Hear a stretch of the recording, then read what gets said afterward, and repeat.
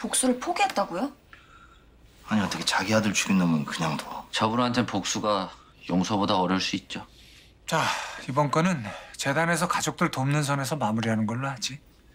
그러면 오늘 이만 해산? 집에 가자. 아 가긴 어딜 가요? 차정비 마저 해야지. 알겠어.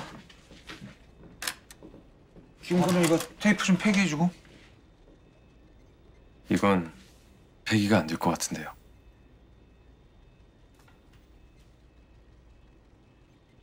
이번 사건 용의자예요. 만약 백 회장에 대한 의뢰가 들어온다면